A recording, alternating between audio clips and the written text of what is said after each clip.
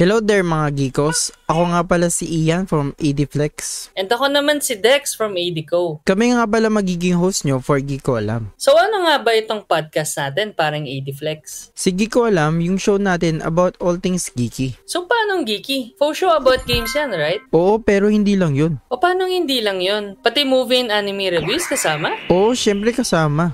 Naman yung product reviews like feminine wash, but for men? Hmm, pag ganun, depende na lang sa mood.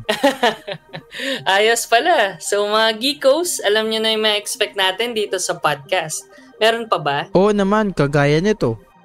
Ako nga yung ano ko, yung nilalaro ko to nung mga ano pa, panahon pa ng PlayStation. Yung sa akin slim. Parang naririnig ko na yung ano yung Benz. yung hangin. At ito, Kaka-computer mo yan. Sumakit ulo mo. Sumakit chan mo. Lahat na ng magiging sakit mo, computer. Diagnose. Pati ito, di ba? Key takeaways, do not support leaked games.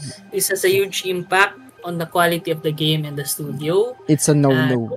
okay, so what are you waiting for? on Spotify or wherever you get your podcasts.